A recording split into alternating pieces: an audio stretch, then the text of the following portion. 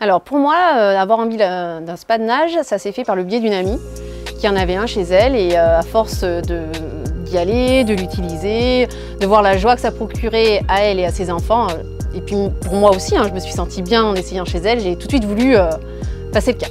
Avant, j'ai eu la chance d'avoir une maison qui avait une, grande piscine chauffée, 7 par 4.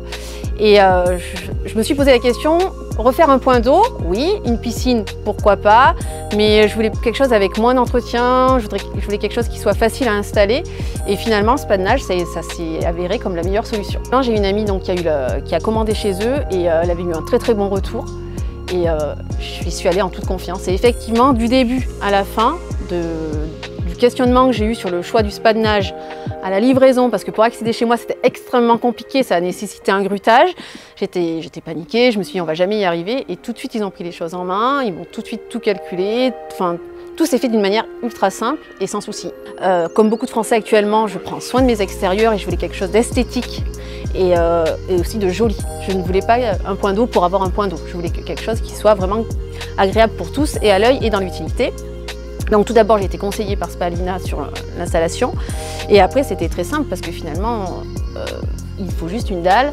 Après, un grutage qui s'est fait de manière euh, bien plus simple, euh, enfin, tout, simplement. Et, et après l'installation, ben voilà, c'était juste du conseil. Et, ça s'est fait naturellement. Pour vous dire une place préférée, très sincèrement, j'en ai pas parce que j'utilise aussi bien les, les places où on est massé que le spa de nage en lui-même. Donc très sincèrement, je ne pourrais pas vous dire je préfère l'un ou l'autre parce que j'adore les deux. Et ça a été vraiment une pure découverte. Et comme je vous dis, je peux le comparer avec une piscine classique et c'est que du bonheur. Et aux enfants, c'est la, même chose. Ils se sont éclatés dans une piscine normale, mais alors le spa de nage, on l'ouvre, l'eau est tout de suite bonne, ils peuvent tout de suite nager dedans et ils s'éclatent quoi. Et j'ai ma grande qui a 12 ans qui profite aussi euh, des soins. Le programme ambassadeur, il, il a été évident pour moi puisque pour ma part, c'était vraiment super de pouvoir euh, essayer le spa ailleurs, de pouvoir le voir, de pouvoir poser beaucoup de questions à une personne qui l'avait finalement depuis quelques temps. Et ça rassure tout simplement, c'est pas un achat qui est, euh, qui est impulsif.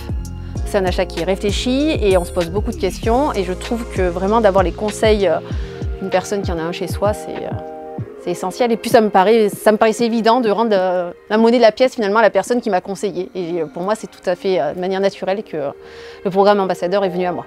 le spa, je vais vous dire, très sincèrement, il a trouvé sa place. c'est effectivement un côté très familial quand il y a des enfants.